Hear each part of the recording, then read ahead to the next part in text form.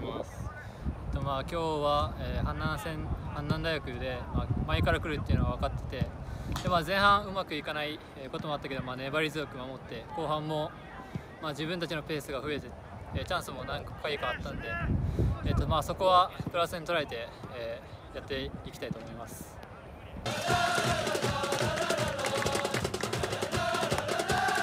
無失点で意識したことを教えてください。えー、まあ、無失点で意識したっていうのは、まあ、練習から、えー、セカンドボールに行くっていうのを、まあ、常日頃から言われててで今回も、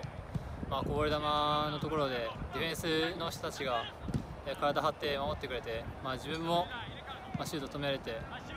まあ、そういう、まあ、日々の練習の成果が、えー、今回、えー、無失点につながったなつながったのかなというふうに思います。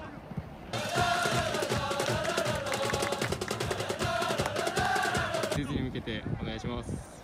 えー、事実は、えー、カンカン戦っていう特別な試合になると思うんで、えー、チーム全体で、まあ、無失点っていうのを意識してで、まあ、前節勝ってるんで、えー、今節も、えー、点を取って、えー、勝ちたいと思います。